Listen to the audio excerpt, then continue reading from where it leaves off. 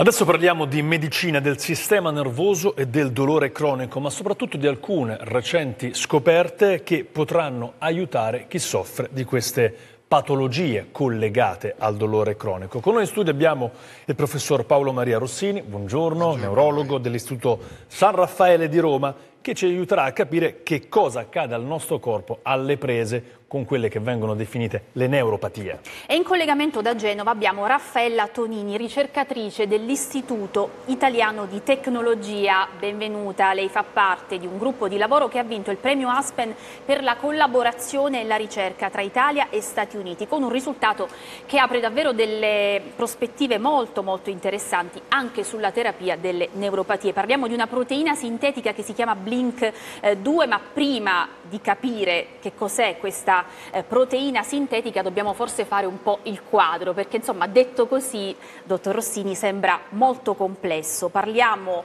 eh, di vie di percezione del dolore a livello del sistema nervoso. Perché percepiamo il dolore? Beh, senza dolore non si vive. Il dolore è tutta la rete di eh, tessuto nervoso che ce lo fa percepire, è un sistema di difesa fantastico. Fin da bambini impariamo a non toccare oggetti troppo caldi o troppo appuntiti, a non spostare oggetti troppo pesanti perché questi ci provocano dolore e il dolore ci dice stanno facendo del danno.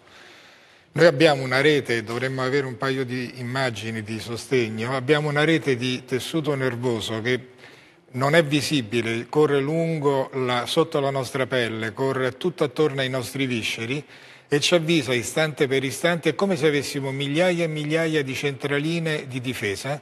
Ci avvisa se gli impulsi che vengono dall'esterno o anche dall'interno del nostro corpo rientrano nella normalità oppure sono di allarme e quindi dobbiamo andare dal medico o fare degli esami. Però poi subentra quello che viene definito il dolore cronico, patologico. Certo. È un salto di specie, insomma. Che cosa significa invece Perché dolore cronico? Perché si danneggia il sistema delle centraline, le quali invece di avvisare di un'aggressione cominciano loro stessi a produrre degli impulsi patologici che fanno percepire al soggetto un dolore che non esiste.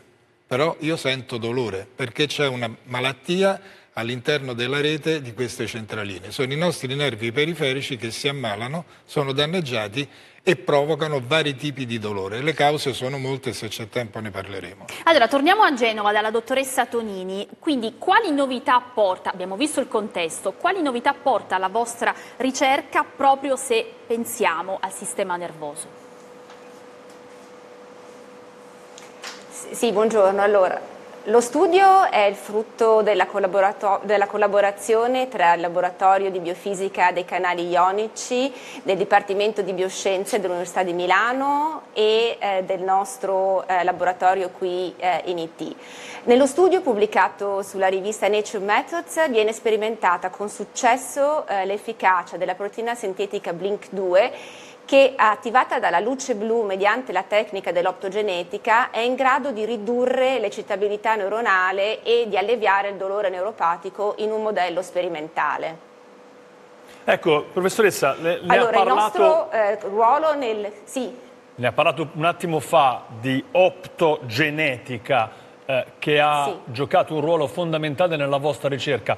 Vogliamo spiegare il ruolo della luce in questa scoperta e come agirebbe dietro a questa proteina? Ah sì, la, la tecnica dell'optogenetica è una tecnica sperimentale molto usata in ricerca biomedica che permette di intervenire sull'attività neuronale di organismi modello attraverso l'uso della luce.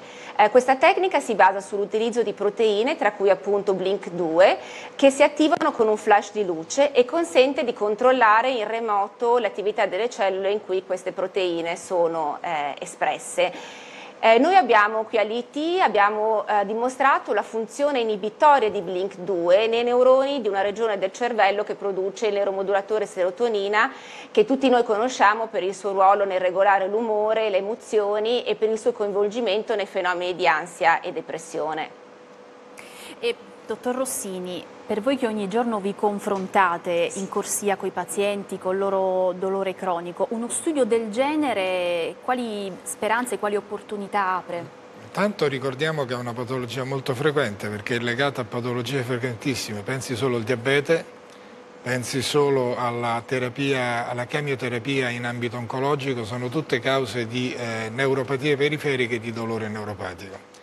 La speranza che spero di vedere io ancora diciamo, in attività è che somministrando questa proteina per via generale, attivandola con una precisione millimetrica con questa luce che può attivarla nei punti che noi decidiamo e programmiamo, andando quindi sulle centraline malate, poter bloccare, inibire almeno in parte il passaggio di questi impulsi dolorosi.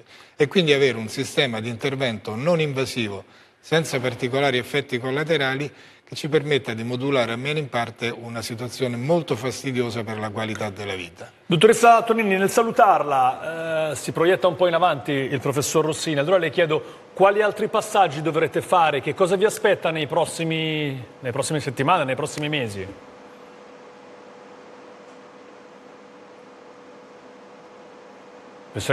Dottoressa Tonini, mi sente?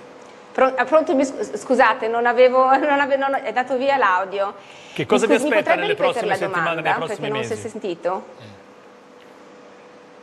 Allora, questo studio sicuramente offre delle opportunità molto interessanti, come diceva il professor Rossini, e infatti su appunto, le applicazioni cliniche del, di questa proteina Blink2 sta lavorando attivamente il laboratorio della professoressa Moroni all'Università di Milano che appunto ne sta validando sempre di più l'utilizzo in questo contesto. Grazie, grazie Raffaella Tonini, ricercatrice dell'Istituto Italiano di Tecnologia e grazie ringraziamo anche Paolo Maria Rossini dell'Istituto San Raffaele grazie di Roma. Grazie per Buona essere giornata. stati con noi.